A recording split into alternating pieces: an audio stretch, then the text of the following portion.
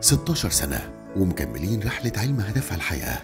رحلة شارك فيها كل مصري جوه مصر وبراها ودايما المصريين واقفين معانا وفي ظهرنا بجدعنتهم المعروفة من خلال جمعية الشبكة المصرية ضد السرطان ان اللي كان ليها الدور الكبير في توفير الدعم من المعدات الطبية وتطوير الأجهزة المميكنة للمعامل ومضخات المحاليل في المستشفى وتجديد أسرة المستشفى بالكامل وتوفير جهاز CT simulator لجهاز ال CyberKnife. ده غير جهاز الملاحة الجراحي لغرف العمليات واللي بيساهم في رفع نسب الشفاء لأطفالنا من سرطان المخ.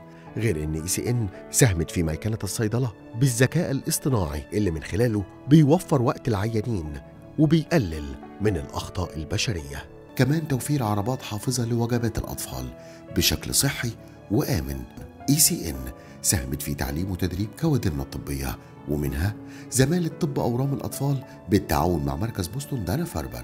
وساهمت في برنامج الصيدلي المقيم كشهادة مهنية متخصصة في علم الصيدلة الإكلينيكية ال ASHP ده غير شهادة اعتماد الجودة ال JCI وبرنامج ال PharmD كشهادة مهنية متخصصة في علم الصيدلة الإكلينيكية لتحسين رعاية أطفالنا.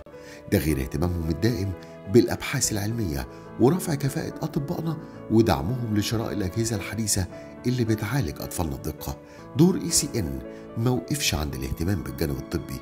هو اهتموا كمان بالعنصر البشري في رحلة علاج أطفالنا وحربهم ضد السرطان.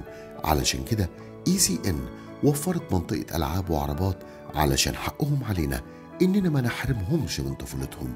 شكرا لكل المصريين الجدعان.